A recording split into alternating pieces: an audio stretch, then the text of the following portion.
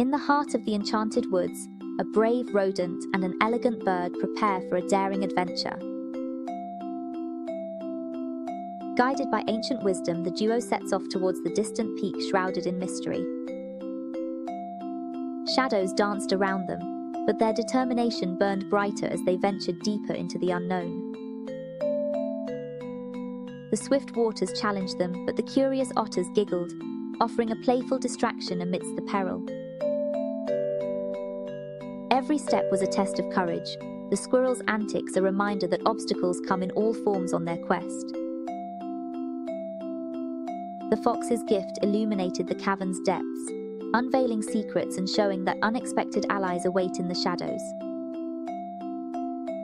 The air was quiet, the night stark, as the summit revealed that not all quests end as expected, prompting introspection in the darkness.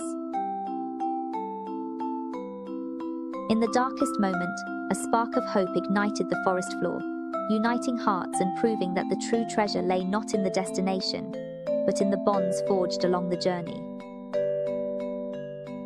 Their adventure left a legacy of harmony and joy, showing that sometimes the most magical fruits are those we create together.